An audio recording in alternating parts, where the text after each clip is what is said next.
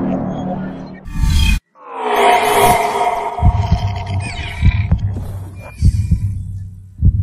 అంటువ్యాధుల్లో అత్యంత ప్రమాదకరమైనది డెంగ్యూ. ఇది దోమల ద్వారా వ్యాప్తి చెందే భయంకరమైన వ్యాధి. ఏడిస్ ఈజిప్టై దోమ కుట్టడం వల్ల ఈ వైరస్ ప్రబలుతోంది. ఈ దోమను టైగర్ దోమ అని కూడా అంటారు. ఈ దోమలు పగటిపూటే కుడతాయి. ఈ దోమ కుట్టిన ఐదు నుంచి ఎనిమిది రోజుల తరువాత వ్యాధి లక్షణాలు కనిపిస్తుంటాయి. అలాగే డెంగ్యూ వ్యాధి వచ్చిన రోగిని కుట్టిన దోమ మరొకరిని కుట్టిన ఈ వైరస్ వ్యాప్తి చెందుతుంది. ప్రస్తుతం వర్షాలు పడుతుండటం వల్ల దోమల బెడద ఎక్కువగా ఉంటుంది. ఈ కాలంలోనే డెంగ్యూ వేగంగా వ్యాప్తి చెందుతుంది. కాబట్టి ఈ వ్యాధి లక్షణాలు ఎలా ఉంటాయో ప్రతి ఒక్కరూ తెలుసుకోవడం మంచిది. తీవ్రమైన తలనొప్పి. డెంగ్యూ లక్షణాల్లో ప్రధానమైనది తలనొప్పి. డెంగ్యూ సోకిన వారికి విపరీతంగా తలనొప్పి వస్తుంది. తల భారంగా మారుతుంది. జ్వరం.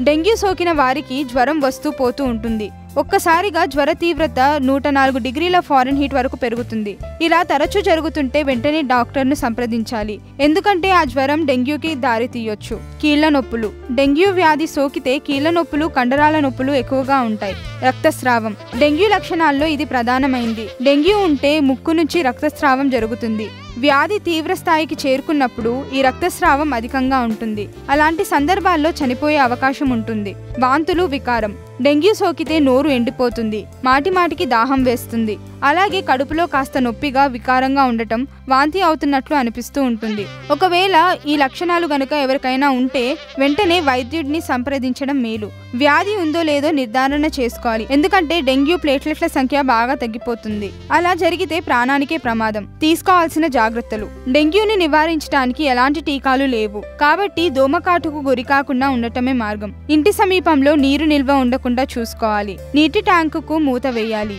నీటి నిల్వ ఉంచుకునే కుండీలను కనీసం వారానికి ఒకసారి శుభ్రం చేసి ఆరనివ్వాలి. ఇంట్లో దోమలు తిరుగుతున్నట్లు అనిపిస్తే వెంటనే దోమతెరలను అమర్చుకోవాలి. వాటిని తరిమి కొట్టే కొన్ని నివారణ మందులు వాడాలి. శరీరంలోని అన్ని భాగాలకు రక్షణ కలిగే విధంగా దుస్తులు ధరించాలి. పిల్లలకు శరీర భాగాలు పూర్తిగా కప్పేటట్లు దుస్తులు వేయాలి. ఈ డెంగ్యూ దోమలు పూల తొట్టెలు నీటి ట్యాంకులు టైర్లలో గుడ్లు పెడతాయి. ఇంకో విషయం ఏంటంటే ఈ దోమల గుడ్లు సంవత్సరం వరకు పొడి ప్రాంతాల్లో కూడా జీవించగలవు. కాబట్టి ఇంట్లో కుండీల్లో ఉపయోగించని టైర్లు వంటి వాటిలో నీటి నిల్వ లేకుండా చూసుకోవాలి.